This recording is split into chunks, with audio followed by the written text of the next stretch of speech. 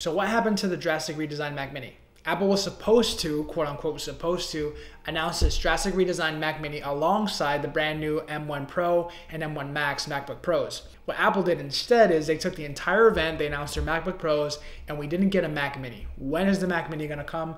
When is it gonna get redesigned with the new MacBook Silicon? That's what I try and figure out in this video. Basically, if you guys remember two years ago, Apple announced that they're gonna make a full transition away from Intel over to Apple Silicon. Well, we're about eight months away from that date where Apple said they're gonna transition their entire line. If you go on Apple's website, you can still get an Intel Core i5 Mac Mini, but you still have the M1 option as well. So if you want to get something that's more powerful, you go for the M1.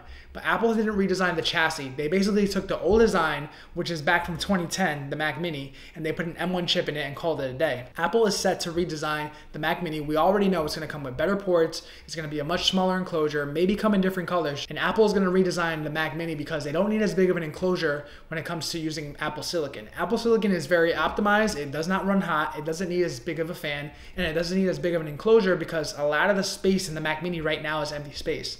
Like I said, this design is from 2010. We're also expecting to see a new MagSafe connector, just like we saw in the brand new iMac as well. So a lot of the features that come on the MacBook Pros and the iMac are going to be coming to the Mac Mini in a smaller enclosure. Now, when is this Mac Mini going to be announced? In my opinion, because we're eight months away from this Apple transition, the two-year transition away from Intel, I'm going to speculate and I'm going to say that Apple is going to announce this Mac Mini at the end of Q1.